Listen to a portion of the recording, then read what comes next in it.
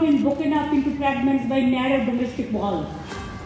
কলকাতায় শুরু হয়েছে এ বছরের জি টোয়েন্টি সম্মেলনের প্রথম বৈঠক। সোম, মঙ্গল বুধবার এই তিন দিন ধরে চলছে এই বৈঠক।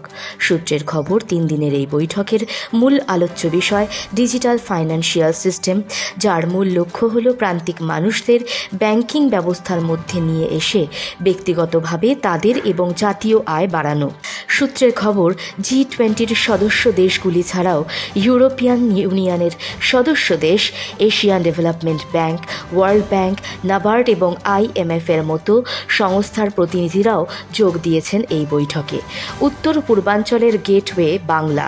কলকাতায় জি টোয়েন্টির বৈঠকের সূচনা করে বিনিয়োগের বার্তা দিলেন মুখ্যমন্ত্রী। সম্মেলনটির সভাপতিত্ব করেছে ভারত। তার আগে সোমবার কলকাতায় জি টোয়েন্টির সম্মেলনের আলোচনা সভার সূচনা করেছেন মুখ্যমন্ত্রী মমতা বন্দ্যোপাধ্যায়। এই দিন জি টোয়েন্টির বিষয় বৈঠকের শুরুতেই দেশ বিদেশের সকলকে বাংলায় আসার আমন্ত্রণ জানালেন মুখ্যমন্ত্রী।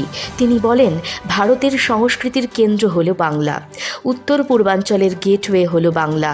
এছাড়া ভুটান, নেপাল, চীন, থাইল্যান্ড, মায়ানমারের গেটওয়ে হল বাংলা। তাই আমাদের রাজ্যে আসুন, আমাদের দেশে আসুন। এ রাজ্যে শিল্প থেকে পর্যটনের ব্যাপক সুযোগ রয়েছে।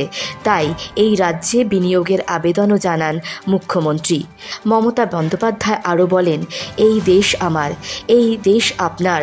গোটা বিশ্ব আমাদের মাতৃভূমি, একতাই আমাদের মূল মন্ত্র রাজনীতির ঊর্ধ্বে উঠে সবাইকে একজোট হয়ে উন্নয়নের ডাক দেন মুখ্যমন্ত্রী।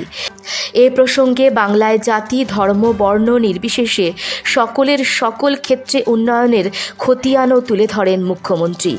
বাংলায় সর্বধর্ম, বর্ণ নির্বিশেষে উন্নয়নের খতিয়ান তুলে ধরেন মুখ্যমন্ত্রী মমতা বন্দ্যোপাধ্যায় এবং এই প্রসঙ্গে তিনি বলেন, এ রাজ্যে হিন্দু, মুসলিম, শিখ, জৈন সমস্ত জাতি ধর্ম, বর্ণ নির্বিশেষে সকল ছাত্ররা স্কলারশিপ পায়।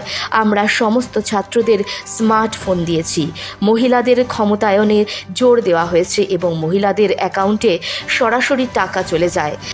মুখ্যমন্ত্রীর মস্তিষ্ক প্রসূত দুয়ারে সরকার কন্যাশ্রী প্রকল্প বিশ্বে পুরস্কৃত হয়েছে এবং কলকাতার ইকো পার্ক ওয়াক্স মিউজিয়াম বিশ্বে সমাদৃত বলেও উল্লেখ করেন মুখ্যমন্ত্রী। একই সঙ্গে রাজ্যে কর্মসংস্থান, জিডিপি বেড়েছে দাবি জানিয়ে মুখ্যমন্ত্রী বলেন এম এস এমই ক্ষেত্রে আমাদের রাজ্য দেশে প্রথম। রাজ্যে বারো লক্ষ কর্মসংস্থান হয়েছে, চার গুণ জিডিপি বেড়েছে।